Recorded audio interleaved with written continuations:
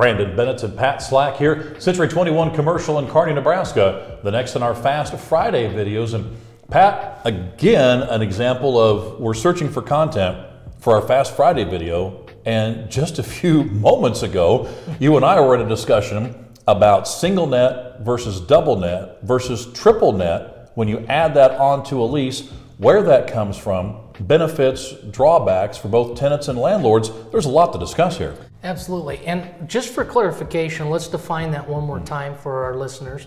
Uh, your single net is your real estate taxes, your double net is your uh, insurance to the property, hazard insurance, and your third net is uh, maintenance and repairs to that property.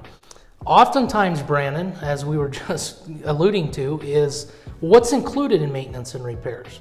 Uh, honestly, it's never the same every year, so it, it's it's variable. It's and it has to be built out. And most of the owners would like to see triple net, but it takes work, it takes accounting, it takes billing, it takes statement and verification of all that for maintenance and repairs. Because we know, you know, taxes are going to be here. They may deviate a little bit. Same way with insurance, but maintenance and repairs is the biggest one. Oftentimes, tenants come to us. What's that include? So they get hesitant hesitant with the lease because of the unknown. So the more information you and I have when we have a property for lease, it's great to have that so we can disclose that and get people more comfortable so we can get essentially the space leased out quickly. And uh, oftentimes people, tenant-wise, run into budgets.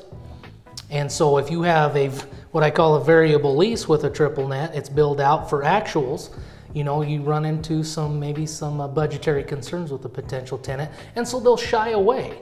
And so some properties, you know, are uh, normal for triple net and easier to do, while others, the gross lease is probably more practical in this situation. And you can come to a good estimation and come to a square foot to, to uh, market that lease rate for that facility.